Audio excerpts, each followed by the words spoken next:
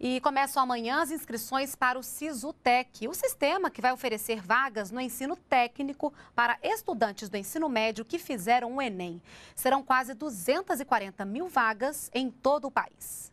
O Sistema de Seleção Unificada da Educação Profissional e Tecnológica, o SISUTEC, vai ser mais uma oportunidade para profissionalizar o estudante brasileiro. Serão ofertadas quase 240 mil novas vagas para estudantes que já concluíram o ensino médio e fizeram o Enem de 2012. De acordo com o Ministério da Educação, as inscrições devem ser feitas até o dia 12 de agosto. A maior parte das vagas será em instituições de ensino particulares que oferecem cursos cursos de ensino superior na mesma área. Se ela tem um curso de engenharia elétrica, ela pode ofer ofertar o curso técnico de, é, de, técnica eletrônica.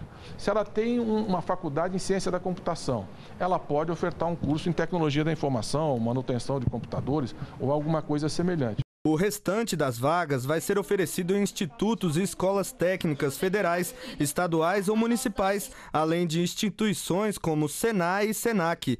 85% das vagas do Sisutec vão atender os alunos que cursaram o ensino médio na rede pública ou tiveram bolsa integral em escolas particulares. Os cursos com maior número de vagas são os de técnico em informática, enfermagem e logística. E os estados que vão ter mais vagas são São Paulo, Pernambuco e Minas Gerais. É mais uma opção, além do ProUni, do FIES, do SISU, do próprio Ciência Sem Fronteira, mais uma opção que os participantes do Enem terão. Agora, o curso técnico profissionalizante é uma grande demanda no mercado de trabalho, na indústria, área de ciência da computação, área da saúde, na área de serviços. São cursos de 800 horas a 1.200 horas, portanto é um curso bem estruturado, só com faculdade que tem uma excelente avaliação e o curso também tem que ter no mínimo nota 3 na avaliação do MEC.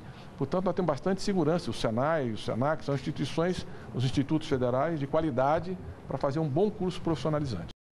As inscrições para o Sisutec podem ser feitas até a próxima segunda-feira pelo site do Ministério da Educação.